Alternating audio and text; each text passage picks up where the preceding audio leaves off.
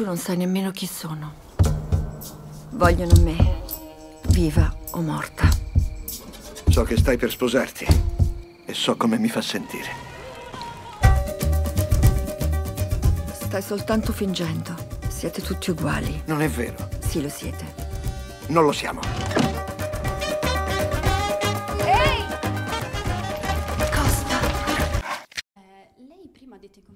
Stampa che non aveva mai fatto un ruolo proprio fisico, invece in questo film fa tante scene action quasi.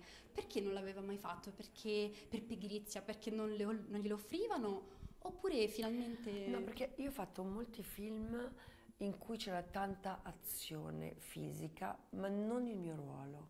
Eh, per esempio in James Bond, eh, cosa c'è più fi- fisico di James Bond, ma non c'erano ruoli fisici per me.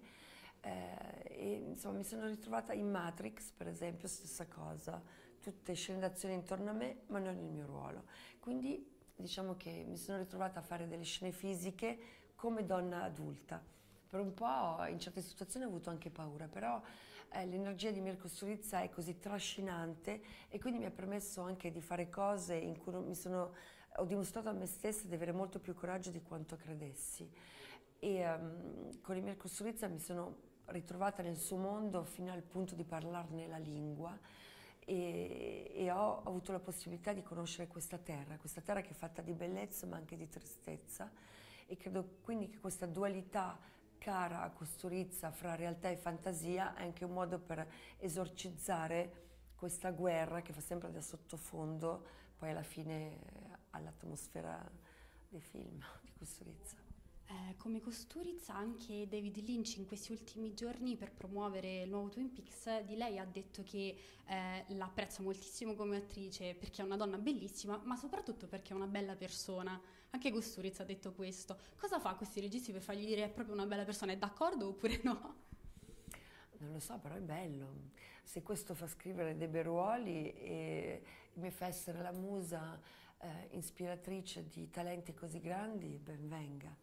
Quindi devo dire che sono onorata del fatto che eh, registi così parlano in questo modo e, e Mirko Strizza per quanto riguarda On the Milky Road, uh, quindi sulla Via Lattea, ha scritto questo ruolo di donna così bello e mi ha permesso di interpretare questo personaggio di donna così materna, così profonda, così pronta al sacrificio capace di gesti estremi, inattesi e anche questa fragilità, un po' come una bambina.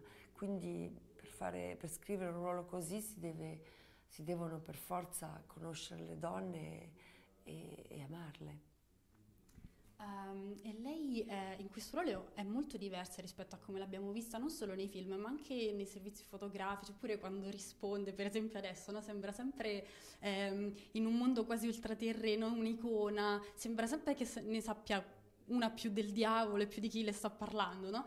ma quindi quando lei si guarda allo specchio, guarda queste icone e dice sì, ok, sono io, ogni tanto ci pensa, ma, ma chi è questa Monica Bellucci icona? Ogni tanto è ancora la ragazza Umbra. No, no, ma io faccio una bella differenza fra la persona e l'immagine, nel senso che l'immagine è quello che proietti, conferenze stampe, copertine, film, e poi la persona è un'altra cosa. Ci, ci deve essere una differenza fra quello che fai e quello che sei, perché se tutta la stessa cosa diventa una confusione che è destabilizzante e che non è sana.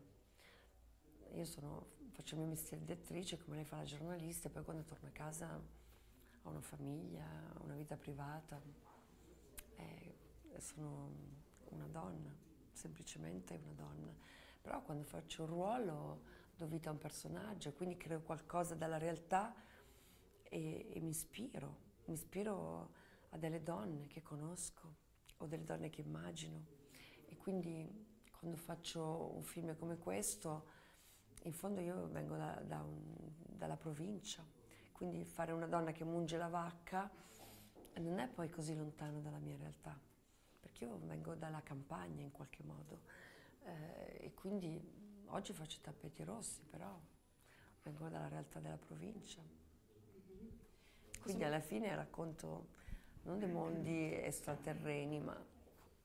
Questo è molto bello perché si ricollega anche al film, no? in cui la terra, le cose semplici, diciamo, ci insegnano qualcosa.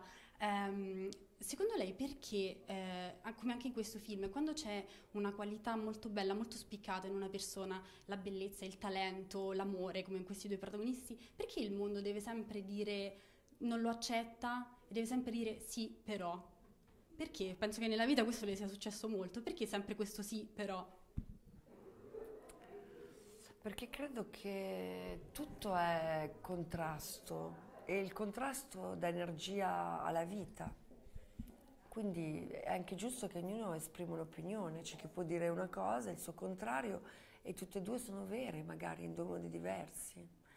Però ecco, l'importante è avere sempre una distanza da quello che si dice o da quello che dicono gli altri, l'importante è anche quello che pensi tu di te stessa, no? Quindi un filo conduttore personale ci vuole, però bisogna anche ascoltare gli altri, perché molte volte gli altri hanno anche ragione.